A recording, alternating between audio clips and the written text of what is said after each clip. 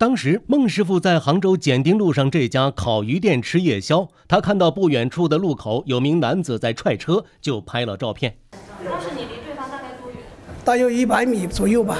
我们当时是拍的时候，他一个嘛，他一个人当时在那踢车子嘛，踢哪辆车？就踢这个大蓝那个蓝色宝马，他那个车堵堵着挡挡住了他的车。孟师傅说，过了几分钟，他吃完了夜宵，准备离开，结果有两名男子向他走了过来，其中一位就是照片中的男子。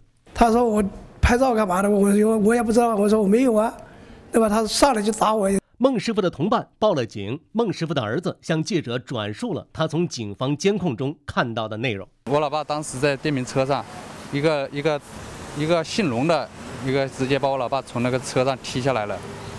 然后两个人就开始拳抱着头打，都抱着头，用拳头打头，用巴掌扇脸，对，然后，然后打完之后，老爸躺在地上了，躺在地上的时候，他们俩一个姓龙的直接用脚往我老爸的下颌骨踢了两脚，没有还手全程。周围的人呢？周围的人的话，他们就去拉，帮忙拉架。采访时，这家烤鱼店还没有开门。记者问了附近几家商户，都说没有看到当时的情况。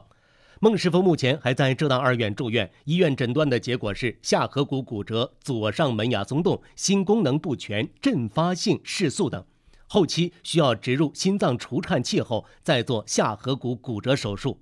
孟师傅说自己还不到五十岁，之前并没有心脏的毛病，他怀疑跟这次被打有关。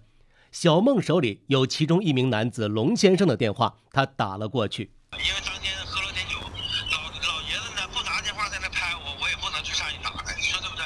你下次嘛，老头这么大岁数了，你别去惹这些没用的。那我就是把车砸坏了也好，怎么样好？那现在人已经被你打伤了，我跟你说，你知道吧？我知小孟说，目前已经花了一万五千多块钱的医药费，其中五千是父亲公司垫的，因为后续还要手术，他们挺着急。龙先生表示，孟师傅说心脏问题跟这次被打有关，他不太认可，接下来会和小孟当面谈。费用，那你找你见面谈再说呀，那我也不能现在转给你啊，是不是？我就给你，你也得给我，给我写个条子呀，是不是啊？我现在反正我能过来就明天，明天早上我过来找你。